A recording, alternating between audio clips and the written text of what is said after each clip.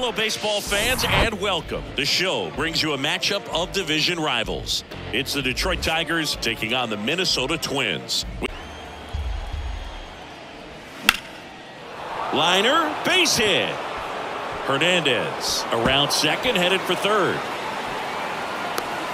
Polanco with a relay throw, but he's in there easily. Comes through with the RBI. Just a really nice approach to shoot that line drive. Feet away. Line drive, and it stays fair.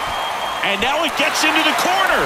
In to score is the runner from third. We're tied at one. Throw to second, not in time. He's there easily.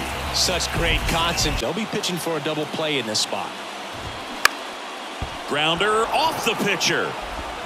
Gathers, goes to the plate, but he's safe. Ball game.